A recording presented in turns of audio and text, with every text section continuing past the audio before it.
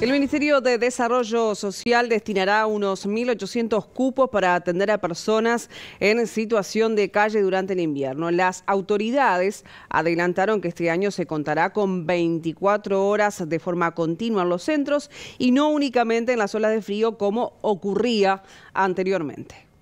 Ya estos días empezamos a mover la, maquinaria, visto las bajas temperaturas, ya empezamos coordinaciones con distintas intendencias y con el Ministerio del Interior para reforzar la atención. Traslado básicamente es como siempre, ¿no? con, los, los, móviles del Ministerio de Desarrollo Social, obviamente que se refuerza la presencia del Ministerio del Interior, con quien también ejecutamos la ley de faltas, pero en este caso ellos apoyan con móviles específicos para el traslado de personas a, a los refugios. ¿Cuántos cupos disponibles van a vamos a tener 1.800 cupos de emergencia y después todo lo que es 24 horas. Estamos ya un, ahora abrimos 24 nuevos eh, hogares 24 horas. Yo estuve recorriéndolos el otro día, la verdad eh, que se vienen a sumar a otros que ya existían.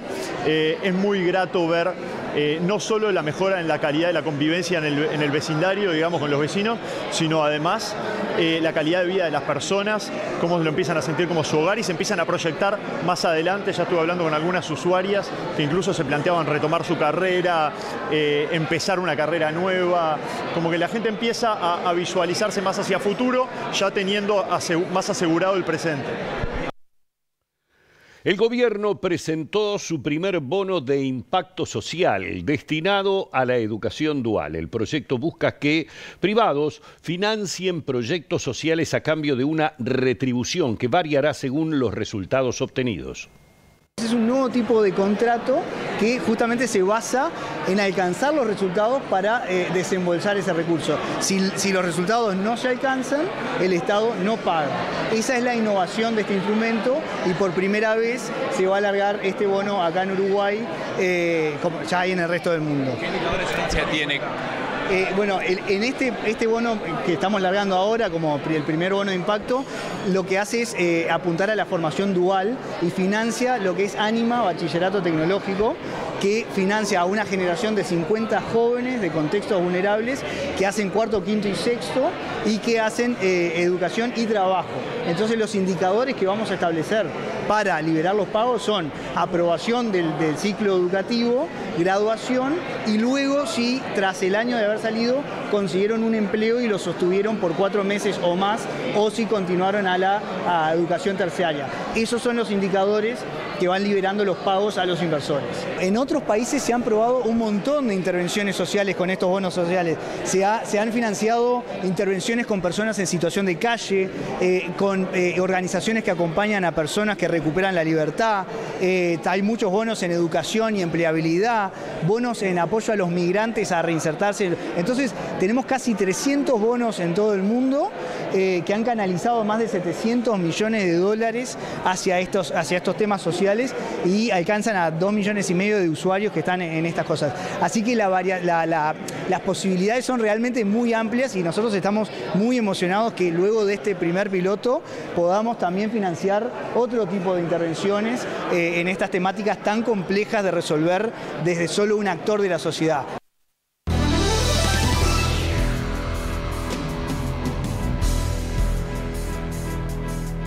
Entre sábado y domingo se registraron cinco homicidios en el país. Tres sucedieron en Canelones, dos en Montevideo y una de las víctimas no ha sido identificada.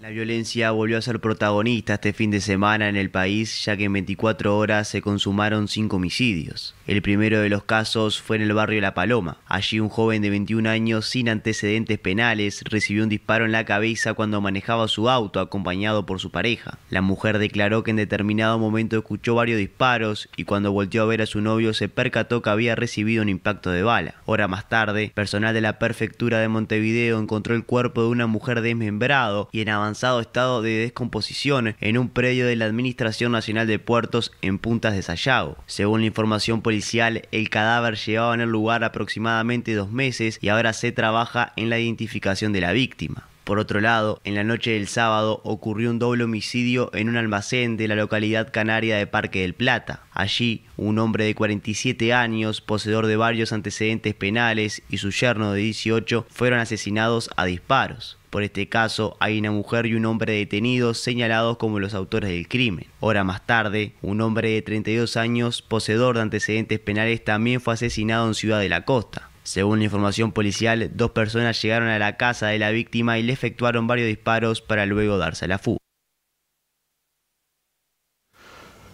Y la policía continúa en estos momentos la búsqueda para dar con el paradero del hombre que en la pasada madrugada roció con combustible y prendió fuego a su pareja, un hecho que se produjo en el barrio Colón en Montevideo.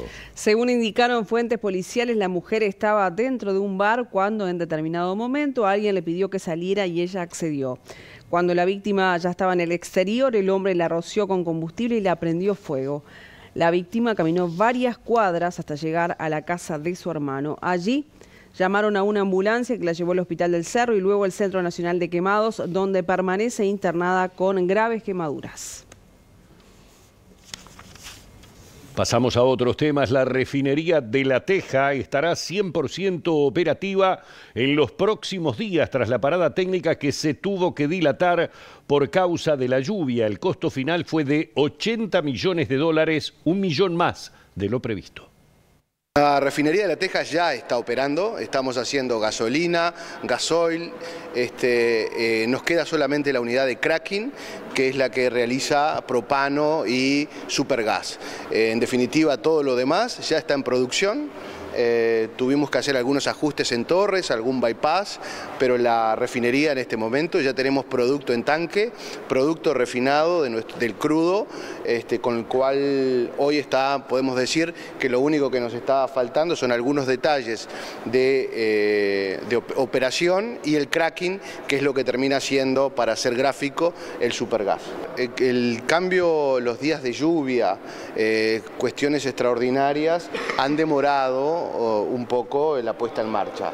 Eh, pero la parada fue, en términos generales, fue óptima, fue sostenida, fue eh, bien realizada y con muy buenas condiciones por nuestro personal, por el personal contratado y por todas las empresas que prestaron servicios, con lo cual la parada fue sólida y, en definitiva en cuanto a los costos de la refinería, estuvimos, estamos hablando de 79 millones de dólares, ese es el costo total que tuvo la parada, este, sin perjuicio de algún ajuste menor, este, que estamos hablando de un millón de dólares más este, por alguna operación o demora con estas cuestiones, como dije, producto de las lluvias y condiciones laborales que nosotros tenemos que garantizar. Y ANCAP aguarda la autorización del Ministerio de Ambiente para avanzar en la búsqueda de hidrocarburos en la plataforma marítima. El presidente interino de ANCAP, Diego Durán, dijo que las empresas petroleras evolucionaron en la protección del ambiente. Hace un año y medio que ANCAP con el Ministerio de Ambiente se viene trabajando en encontrar las mejores oportunidades para realizar sísmica y por supuesto estas exploraciones a partir de los siete bloques que han sido adjudicados a empresas petroleras. En este caso son empresas que hacen eh, contratos de servicios, de soporte a eh, las empresas que van a estar cumpliendo estos contratos y esas empresas requieren la solicitud de autorizaciones ambientales. En esto ya previamente ANCAP venía trabajándolo y por supuesto queremos encontrar las mejores prácticas, por supuesto ambientales, en lo cual tanto el Ministerio de Ambiente, que es su resorte, lo defina y encontrar estas soluciones. Por supuesto que ANCAP ya ha hecho exploraciones, este, la última fue en el año 2017, en este caso son contratos con empresas de multiservicios que prestan a las empresas petroleras que van a realizar este, los contratos de sísmica que ya están firmados con ANCAP. Hoy las empresas petroleras también tienen una evolución de sostenibilidad, de soporte y apoyo a las mejores prácticas para el cambio climático y la protección del ambiente. En ese sentido, estamos encontrando las mejores prácticas para ello. A partir de lo que ocurre en Namibia, este, en África, eso genera un, apetito comercial del cual ANCAP históricamente, comercialmente, ha venido trabajando y es el desarrollo internacional de la compañía estatal uruguaya petrolera en cuanto a su vinculación con otras petroleras del mundo.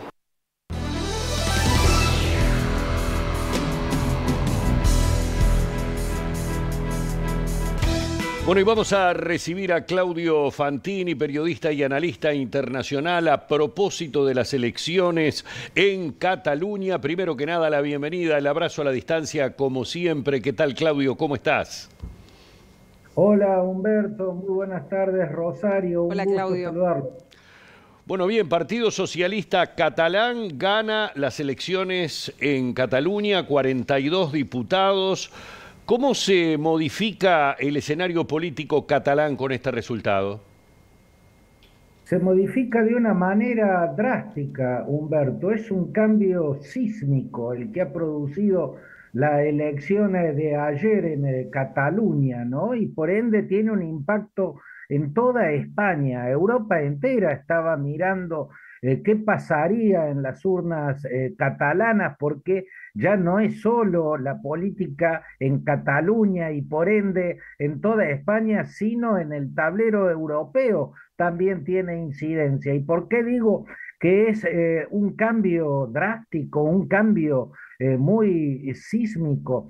Porque nunca habían sacado un resultado tan pobre las fuerzas independentistas. Fue una suerte de derrumbe de los partidos independentistas. Han obtenido, eh, si uno suma los tres, los que sacó Junts per Cat, que lidera Puigdemont, eh, eh, Esquerra Republicana, que lidera Oriol Junqueras, y la CUP, el tercer partido independentista, el más chico de los tres, pero significativo también, se ve que es el peor resultado de los independentistas prácticamente desde 1980. Hay que remontarse todas esas décadas para encontrar un resultado tan malo para los independentistas. Crecieron los partidos españolistas, o sea, los que eh, están en la vereda de enfrente, de Junts per de Esquerra Republicana y de la CUP. Estos tres partidos lo que proponen es que Cataluña salga del reino eh, de España, que se independice, que sea un nuevo Estado totalmente independiente, integrando la Unión Europea, ya no como parte de España, sino el nombre de sí misma, de Cataluña. Bueno, los partidos españolistas, el Partido Socialista Catalán, que es el brazo catalán del Partido Socialista Obrero Español, el de Felipe González, el de actual presidente Pedro Sánchez, eh, también el Partido eh, Popular, eh, el partido ultranacionalista Vox, son partidos que proponen que Cataluña siga siendo parte de España, que no se separe del reino que tiene su capital en Madrid. Y esas fuerzas han crecido. La única que cayó hasta punto tal que perdió toda presencia en el Parlamento es Ciudadanos un partido que nació en Cataluña, que no hace demasiados años pudo gobernar la Generalitat, que es el gobierno autonómico catalán, y que ahora quedó afuera. Pero como se mantuvo Vox, como creció el PP y como creció significativamente el Partido Socialista Catalán, eh, los españolistas han crecido, han sido los grandes eh, ganadores, mientras que los independentistas son los grandes perdedores. Esto no resuelve totalmente la cuestión, si bien el que mayores posibilidad tiene de convertirse en el próximo presidente de la Generalitat, como se le llama allí, eh, es eh, Salvador Illa, el, el candidato por el Partido Socialista, no quiere decir que le haya quedado todo servido en bandeja. Quedó a bastantes puntos de la mayoría parlamentaria necesaria como para formar un gobierno en soledad eh, y un gobierno lo suficientemente sólido, con una mayoría sólida. No tiene esa mayoría, va a tener que tejer acuerdos, va a necesitar a uno de los partidos eh, separatistas va a empezar por intentar con Esquerra Republicana. Esquerra tendría que eh, colaborar eh, con ese gobierno, aceptar formar parte y darle mayoría a, Salvador Illa porque Salvador Illa y, y, los socialistas liderados por él apoyaron al gobierno que encabezó Esquerra Republicana en estos últimos años. Pero bueno, ahí está Puigdemont queriendo hacer la gran Pedro Sánchez también, ¿no? Porque así como Pedro Sánchez consiguió mediante pactos de amnistía con las fuerzas separatistas eh, seguir en el poder a pesar de que había perdido la última elección frente a Núñez Feijó, el candidato del PP, eh, bueno, Puigdemont se dispone a eh, encabezar el próximo gobierno a pesar de que perdió. Él salió segundo, el ganador fue el socialista Salvadorilla. Todavía todo está por verse, pero los números hablan claramente de que los independentistas ya no son mayoría y ya muy difícilmente puedan encabezar el próximo gobierno. Bien, Claudio, y ya para ir finalizando este contacto te pregunto sobre el final y en el escenario español, ¿qué sucede? ¿Cuál es el impacto y la significación? Yo creo, Rosario, que el gran beneficiado por este resultado es Pedro Sánchez y, por ende el gran perdedor a nivel nacional es Núñez Feijó y el PP. ¿Por qué digo esto? Si el PP en Cataluña no ganó, pero creció, sumó escaños en lugar de haber perdido escaños, sí. Sin embargo, el hecho de que haya ganado el Partido Socialista en Cataluña y el hecho de que los independentistas hayan perdido tantos votos, hayan, hayan sido derrotados como lo fueron, eh, muestra que lo que eh, vaticinaban eh, el PP y Vox, que era que los acuerdos de amnistía con que Sánchez logró los votos para su investidura, los votos de Junts per los votos de Esquerra Republicana, a cambio de amnistías, votos para su investidura, que esto iba a ser una tragedia para España, que esto iba a favorecer